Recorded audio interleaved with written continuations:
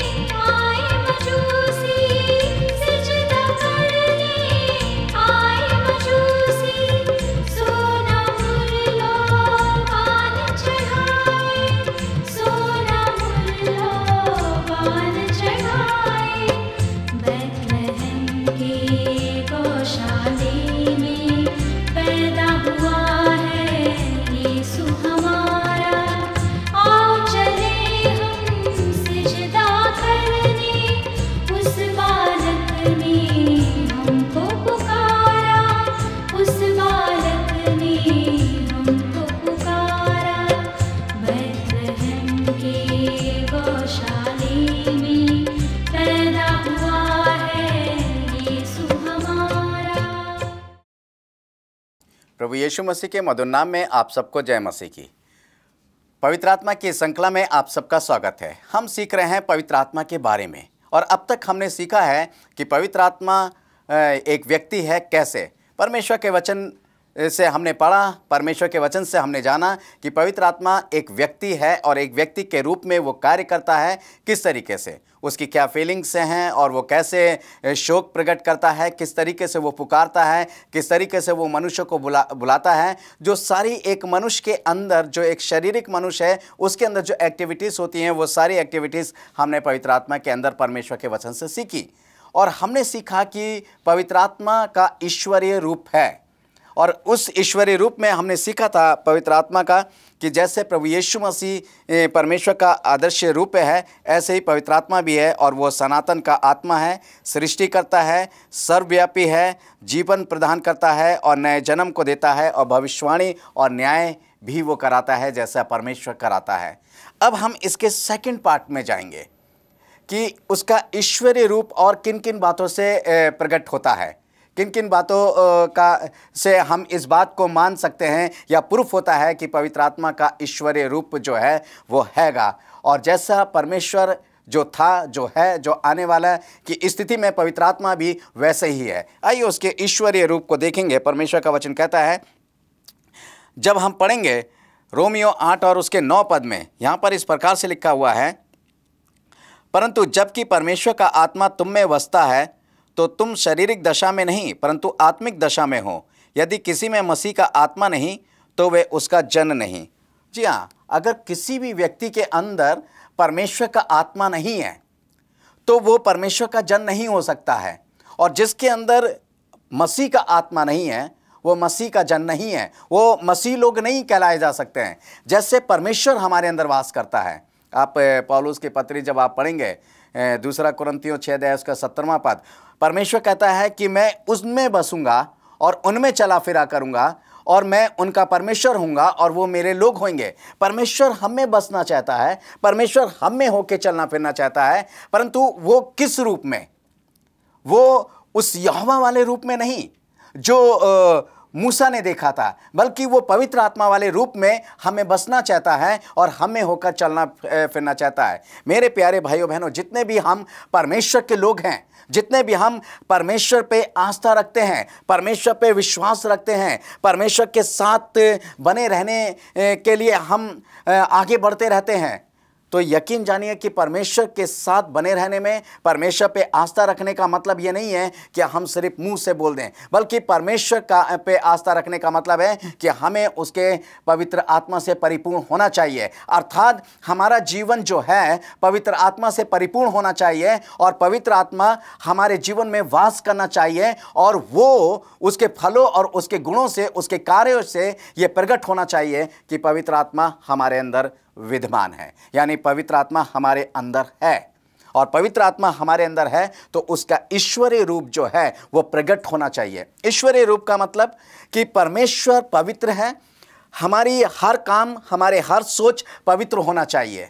परमेश्वर बुराई से दूर रहता है, इसलिए जब पवित्र आत्मा हमारे अंदर वास करता है तो किसी भी प्रकार की बुराई हमारे जीवन में नहीं होना चाहिए।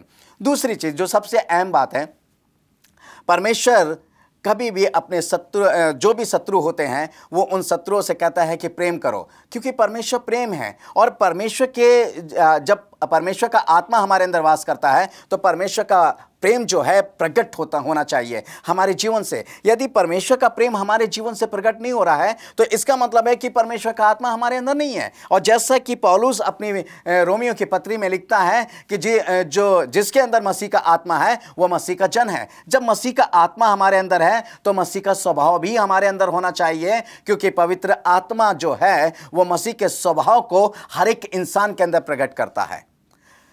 पता नहीं कैसे लोग कहते हैं कि मेरे अंदर पवित्र आत्मा है।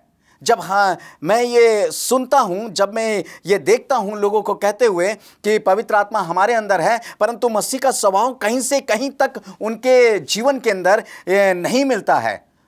तो मैं समझता हूँ ये कैसा आत्मा है। ये मसीह का आत्मा नहीं हो सकता, क्योंकि मसीह का आत्मा मसीह की हर बात को प्रकट करता है, परमेश्वर की हर बात को प्रकट करता है। जैसा परमेश्वर का वचन कहता है कि परमेश्वर प्रेम है, वैसे ही हमें भी हमा हमारे जीवन से परमेश्वर का प्रेम प्रकट होना चाहिए। जैसे वो कहता है कि मैं पवित्र आत्मा मसीह का आत्मा है तो मसीह का स्वभाव हमारे जीवन से प्रकट होना चाहिए। मेरे प्यारे भाइयों बहनों, यदि मसीह का स्वभाव हमारे जीवन से प्रकट नहीं होता है तो हमारे लिए ये कहना कि पवित्र आत्मा हमारे अंदर वास करता है, व्यर्थता की बात है। परमेश्वर का आत्मा ऐसे वास नहीं करता। उसका प्रगटीकरण दिन प्रतिदिन और हर पल होते रहना चाहिए।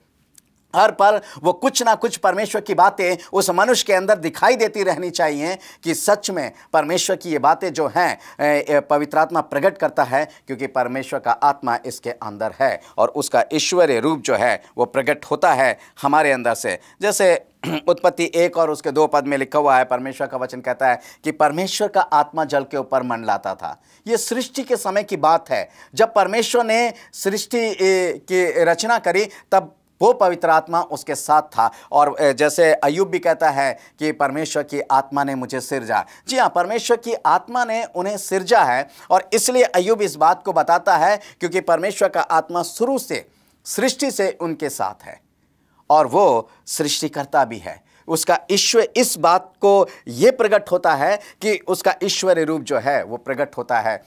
मेरे और आपके बीच में, मेरे और आपके जीवन में जब हम उसके ईश्वरीय रूप को प्रकट करते हैं तो हमारा फ़र्ज़ बनता है कि हम उसका आदर भी करें। यौना की इंजील उसका चार अध्याय और उसके चौबीस पद में इस प्रकार से लिखा हुआ है। परमेश्वर का वचन कहता है, परमेश्वर आत्मा है और अवश्य है कि उसके भजन करने वाले आत्मा और सच्चाई से भजन करें। जी हाँ यहाँ पर लिखा हुआ है कि परमेश्वर क्या है? आत्मा है। आत्मा है तो उसके भजन करने वाले भी आत्मा और सच्चाई के साथ भजन करें। परमेश्वर आत्मा यानी पवित्र आत्मा है। अब परमेश्वर को जब आत्मा कहा गया है तो वो ईश्वर है, परमेश्वर है।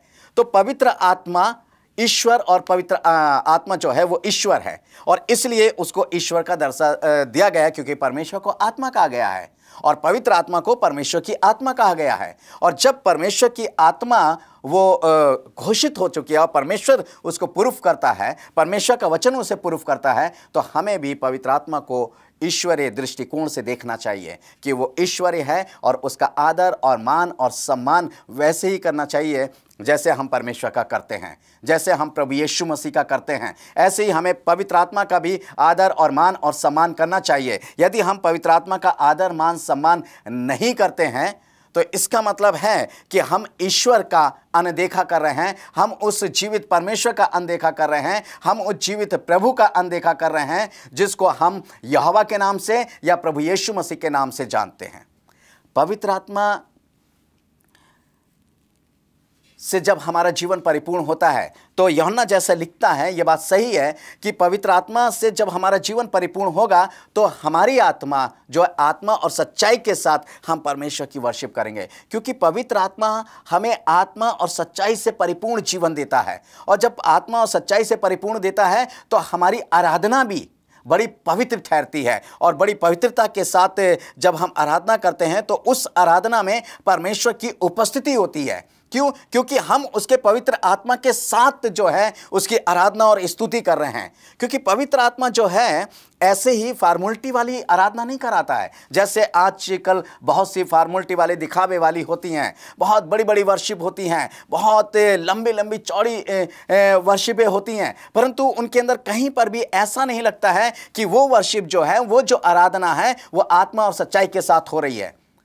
आप यदि अकेले भी वर्शिप कर रहे हैं। आप यदि एकांत में भी वर्शिप कर रहे हैं, परंतु या आप आत्मा सच्चाई के साथ कर रहे हैं तो वहाँ पर परमेश्वर की उपस्थिति है। क्योंकि प्रभु यीशु मसीह कहता है कि जहाँ मेरे नाम से दो या तीन इकट्ठा होंगे, वहाँ पर मैं ज़रूर विराजमान होऊँगा।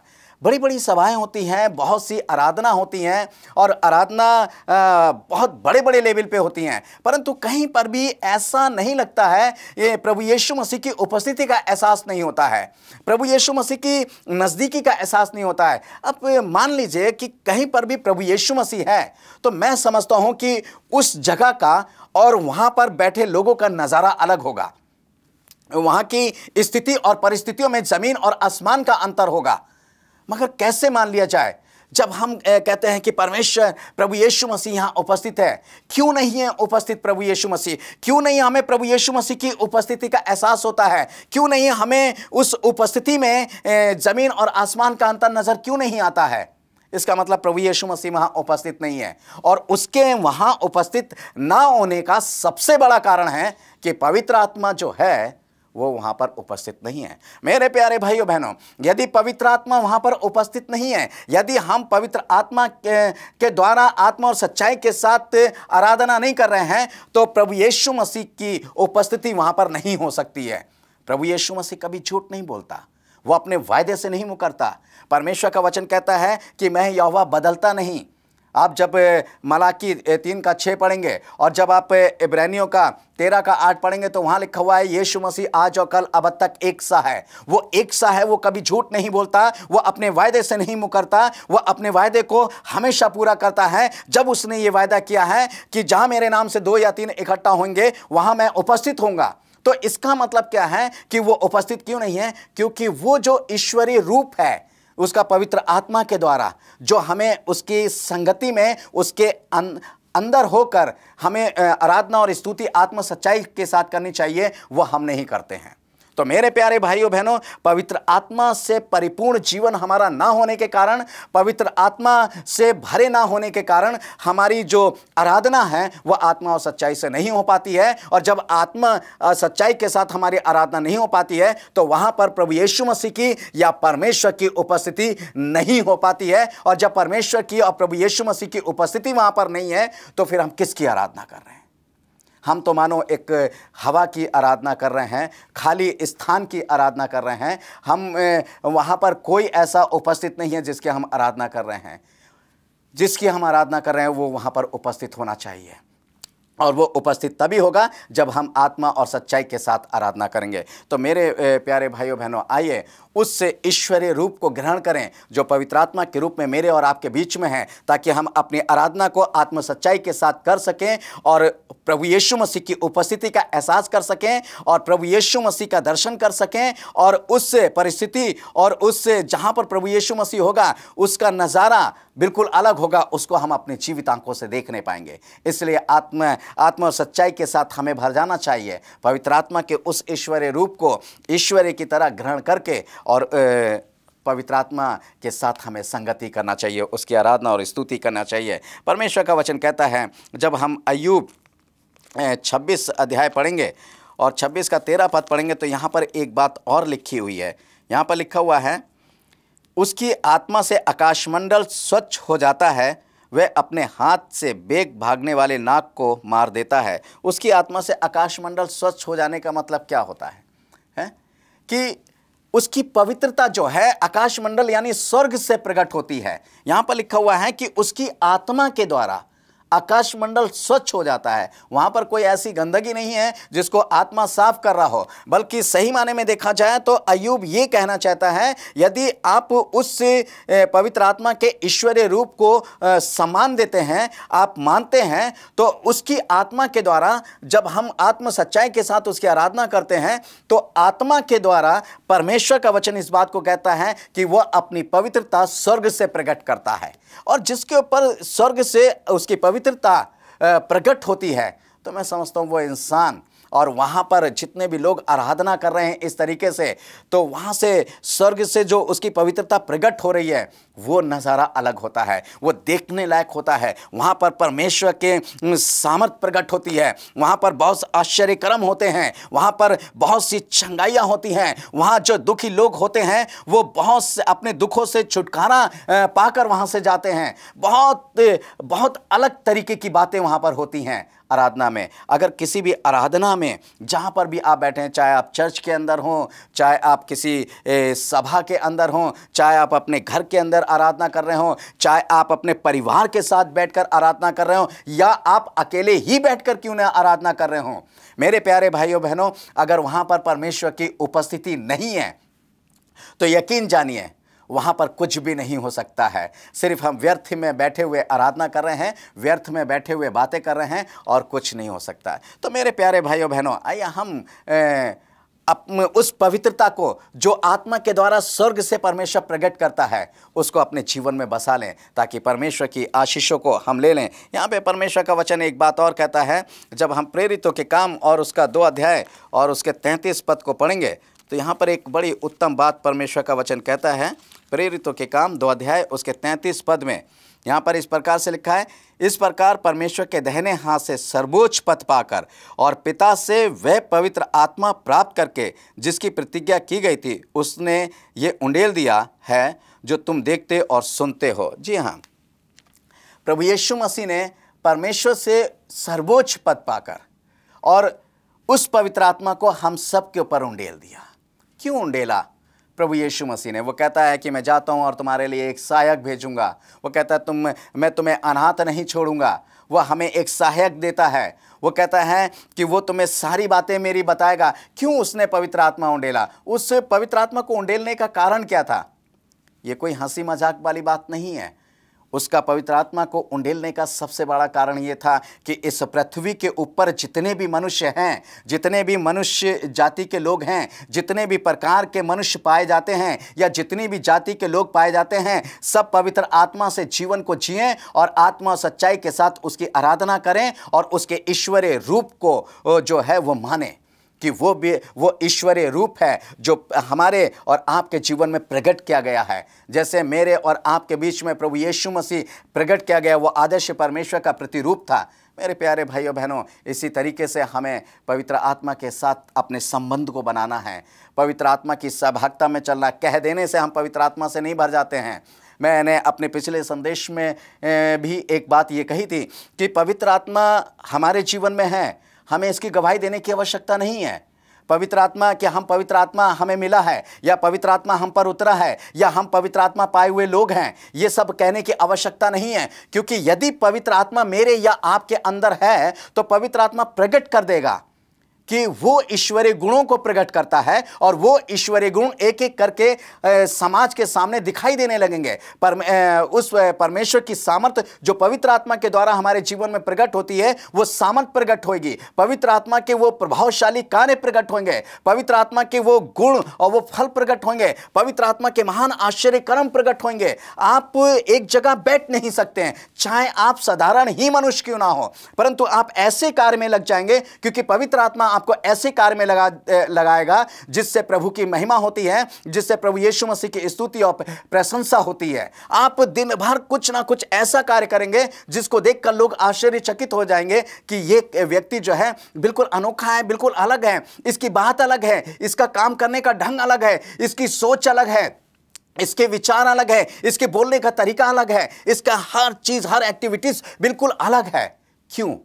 क्योंकि वो पवित्र आत्मा आपके अंदर है, वो प्रकट कर रहा है परमेश्वर की सहनशीलता को, परमेश्वर के प्रत्येक के कार्य को, परमेश्वर के प्रत्येक के महान बातों को वो प्रकट कर रहा है, आपके चाल चलन को जो है वो बिल्कुल बदल रहा है और वो उस जो परमेश्वर की इच्छा के अनुसार है, जैसा परमेश्वर चाहता है, उस इच्छा के अनुसार जो है वो पवित्र आत्मा आपके जीवन को चला रहा है। चल रहे हैं, लोग देख रहे हैं, लोग कह रहे हैं कि ये कैसे इन कामों को करता है। आप कितना भी कठिन कार्य क्यों ना हो? कितनी भी कठिन बातें क्यों ना हो? आप बहुत इजीली सारी बातों को कह जाते हैं। आप बहुत ईजिली सारी चीज़ों को कर जाते हैं। लोग आश्चर्यचकित हो जाते हैं कि आप कैसे कर जाते हैं। कौन कर रहा है? क्योंकि पवित्र आत्मा कर रहा है। आपको कहने की आवश्यकता नहीं है कि पवित्र आत्मा मेरे अंदर है। पवित्र आत्मा यदि आपके या मेरे अंदर है तो पवित्र आत्मा खुद प्रकट कर देगा क्योंकि वो ईश्वर है। और एक ईश्वर को ये पता है कि मनुष्य के जीवन को कैसे चलना चाहिए। उसकी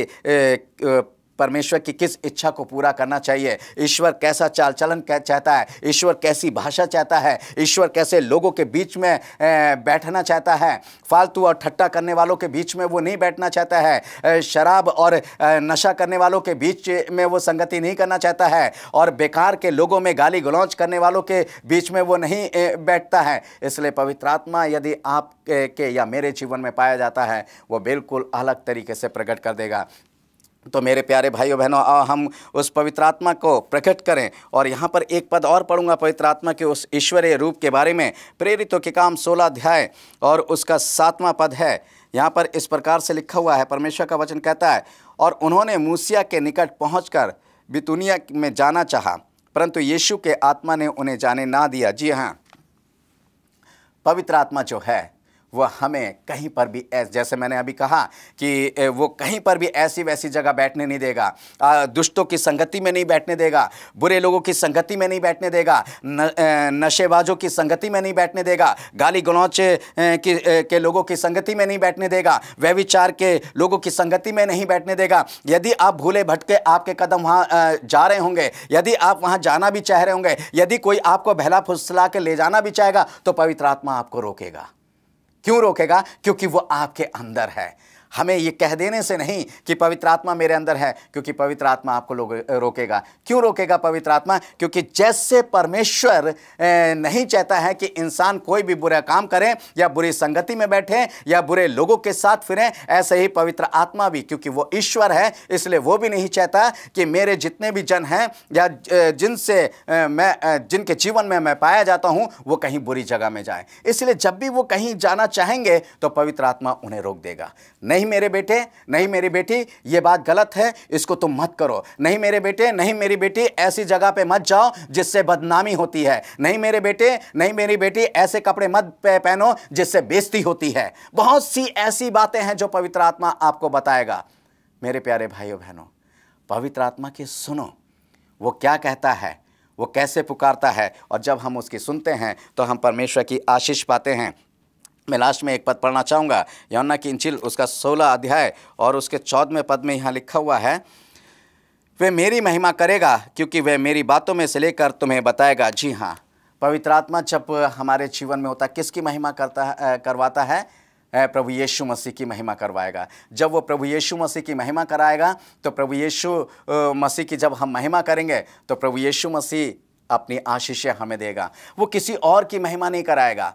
वो किसी और की संगति में नहीं करेगा। हम किसी और की बातें नहीं बोलेंगे। हम सिर्फ़ प्रभु यीशु मसीह की बातें बोलेंगे। और जब हम प्रभु यीशु मसीह की बातें क्यों बोलेंगे? क्योंकि वो जो पवित्र आत्मा है, वो जो धर्मी आत्मा है, वो जो सच्चा आत्मा है, वो जो सनातन का आत्मा है, वो जो सर्वव्यापी आत्मा है, वो जो परमेश्वर का आत्मा है, वो जो प्रभु यीशु मसीह का आत्मा है, वो जो अनुग्रह का आत्मा है, वो सब हमसे कराएगा। वो सब कराएगा, परमेश्वर की महिमा, क्योंकि वो बुराई से घृणा करता है।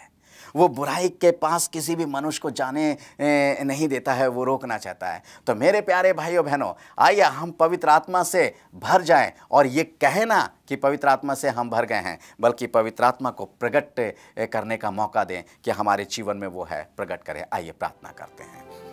प्यारे प्रभु जी, हम तेरा धन्यवाद करते हैं कि तू अनुग्रहकारी और करुणामय परमेश्वर है और तूने कहा है कि जो कुछ भी तुम मेरे पवित्र नाम से मांगोगे, वो मैं तुम्हें दूँगा।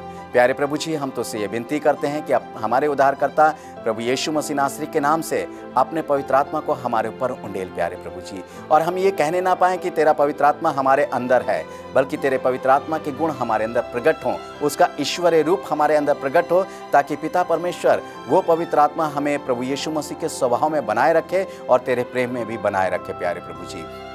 चाहते हैं हर एक के ऊपर अपने आत्मा को प्रकट कर, प्यारे प्रभु। अपने पवित्र आत्मा के अनुग्रह में सबको चलाने पा, प्यारे प्रभु जी। हम तेरा धन्यवाद करते हैं कि तूने हमारी प्रार्थना सुनी और जो कुछ हमने मांगा तूने दिया है। ये प्रार्थना प्रभु यीशु मसीह नासरी के नाम से मांगते हैं। आमीन।